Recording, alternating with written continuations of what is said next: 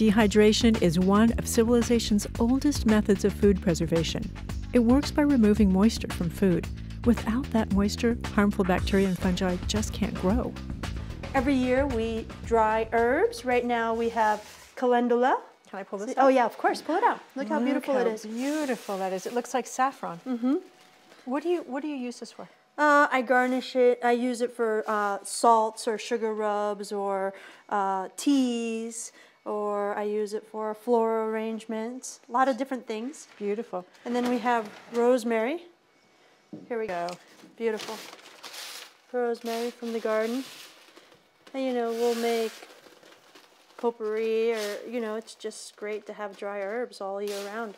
So these herbs are dried, and it looks to me like all you've done is put them on a piece of paper on a rack in a room that's dry and a little bit warm Yes?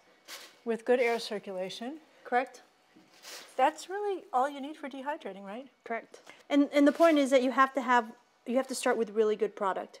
If you start with product that's not good, then you don't get the same kind of quality. It does take a long time. So how long how long would this take? Uh, this takes like two months. Two months, yeah. Mm-hmm. The, the flavor is great. That means the oils are still here. It's just the water that's gone away. Correct. Wow. Because it's nice and slow. There are many ways to dehydrate food. You can dry them in the sun, you can smoke them, you can even dry them in the oven. When it comes to fresh chili peppers, Chef Denise likes to smoke them on the grill for 5 or 10 minutes. Then place them on a tray and put them in the gas oven. There, the heat from the pilot is enough to dry them overnight.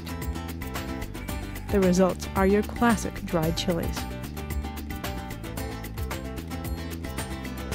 Are you surprised by how easy this is? The ingredients are simple, the process is straightforward, and the results can feed you for a long, long time.